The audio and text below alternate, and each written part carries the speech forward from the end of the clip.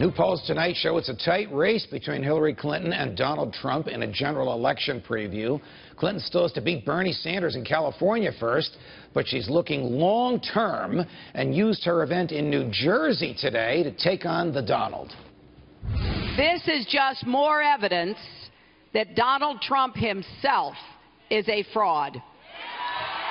He is trying to scam America the way he scammed all those people at Trump U. On issue after issue, we see someone who is unqualified and unfit to be President of the United States.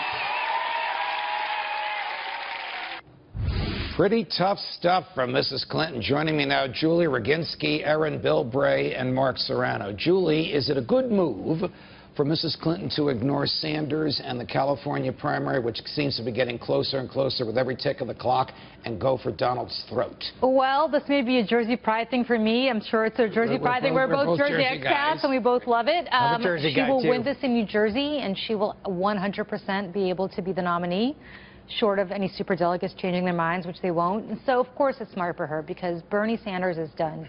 And she needs to move, despite what the voters might think right, the Democratic side. we, so we, she, hap- yeah. we happen to have on our Oh, panel good. Erin Bilbray, who is a Bernie Sanders superdelegate. Eh, Erin, is it a little lonely out there? Are there any other superdelegates that are for Bernie?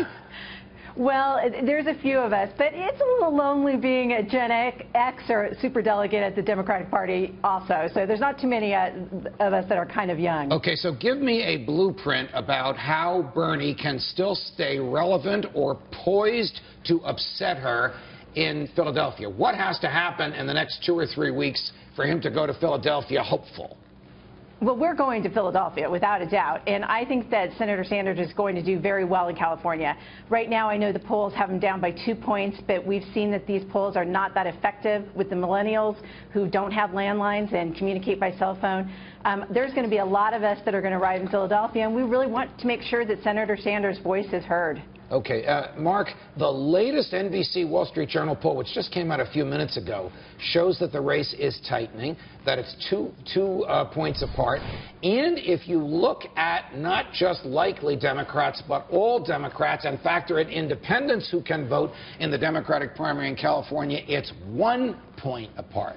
What happens if Well, Bernie beats yeah. her in California, even if it's by a small margin? Well, what happens is she continues to slide in these polls, Judge. You know, it's very interesting hearing those quotes from Hillary Clinton today in New Jersey. Did she hire Marco Rubio's speechwriter?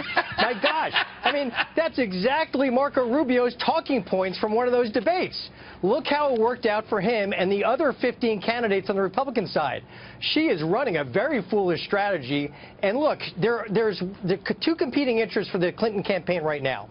One is delegate count, which they will probably reach in New Jersey on the evening of June 7th. Okay. The other is the politics of optics. What it looks like for her in California. And you're right. If she only wins by a slim margin in California, it won't matter for the delegate count. It's about what that does to her in the polling against Trump when she's looking at a very disruptive, uh, disorganized convention with these Bernie supporters being very upset. Okay, Julie, how, we only have about a half a minute. How bad will it be for her if she wins numerically in New Jersey on Tuesday, but then goes on to lose California in, in the Uh, oh boy, you know, I'm a big believer in math is math, and the momentum is nothing more than math. And the reality is at 8 p.m. Eastern time, which is not 8 p.m. Western time, Right. Pacific Coast time.